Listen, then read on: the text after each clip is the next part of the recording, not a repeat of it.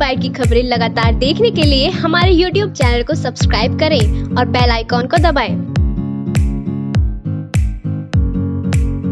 इस खबर के प्रायोजक है जैना ज्वेलर्स, आबुलेन, मेरठ। नमस्कार, मैं हूँ रवि शर्मा और आप देख रहे हैं फ़र्स्ट बाइट और टीवी इस समय बड़ी खबर आ रही है। पूर्व विधायक योगेश वर्मा और उनकी महापौर पत्नी सुनीता वर्मा को पार्टी विरोधी गतिविधियों के आरोप के चलते बसपा से निष्कासित कर दिया गया है।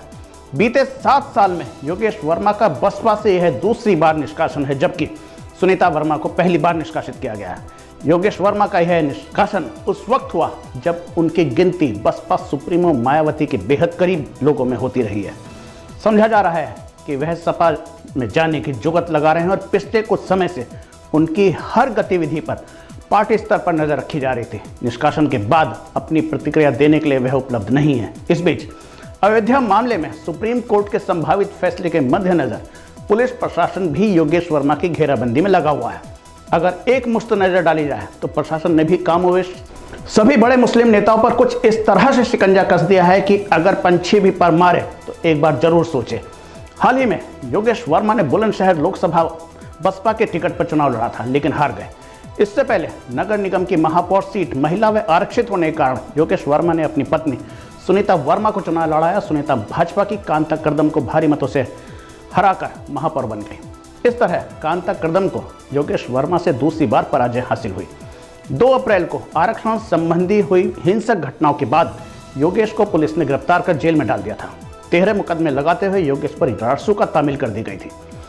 सुनीता वर्मा बसपा से हैं और प्रदेश में सरकार भाजपा की है। लिहाजा इस दौरान कई मरतबा सुनीता को प्रशासन को अपना प्रोटोकॉल याद दिलाना पड़ा। उधर, इस गिरफ्तारी पर बसपा सुप्रीमो मायावती ने भी अपने तीखे तेवर दिखाए और सरकार पर योगेश वर्मा के उत्पीड़न के आरोप चस्पा किए। इस दौरान यह आरोप भी लगे कि पुलिस प्रशासन हिरासत में योगेश वर्मा का एनकाउंटर भी करा सकता है। इससे पूर्व, सन 2012 में हस्तिनापुर से टिकट कटने के विरोध स्वरूप योगेश वर्मा ने पीस पार्टी से चुनाव लड़ा और हार गए। जबकि बगावती तेवर देख बसपा ने उन्हें निष्कासित कर दिया था। अब बीते सात साल में यह दूसरा मौका है जब योगेश को दूसरी बार पार्टी से निष्कासित किया गया है, जबकि सुनीता को पहली बार। इस बीच पुलिस और प्रशासन ने अयोध्या मामले को देखते हुए एहतियातन कई कदम उठाए हैं। एक कदम यह भी है कि इस बेल्ट के मुस्लिमों में अपना रसूख रखने वाले पूर्व सांसद शाहिद अखलाक पूर्व मंत्री याकूब कुरैसी व बसपा के वरिष्ठ नेता मुनकाद अली को भी इस तरह से घेर लिया है कि वह चाहकर भी कुछ ना कर सकें। फैक्ट्री की ज़मीन कब्जाने व फायरिंग के आरोप में याकूब कुरैसी व उनका बेटा इमरान कुरैसी छिपते छिपते जान बचाते घूम रहे हैं। शाहिद अखलाक का परिवार भी गुदड़ी में हुई फायरिंग के मामले में खासी दहशत में है। परिवार के कई लोग नामजद होने के साथ ही शाहिद के भाई राशिद को जेल के सलाखों के पीछे भी जाना पड़ा। हाल ही में वह जमानत पर बाहर आया है। बसपा के वरिष्ठ नेता मुनकाद अली का भाई साजिद भी फायरिंग के एक वीडियो में आने के बाद उसके खिलाफ भी नामजद रिपोर्ट दर्ज है। लिहाजा वह भी अपनी जान बचाता घूम रहा है। समझा जा रहा है कि ये सभी मामले ऐसे हैं कि यदि परिंदा जरा भी पर मारने का सोचता है तो उसे कई बार सोचने के लिए बाध्य होना पड़ेगा।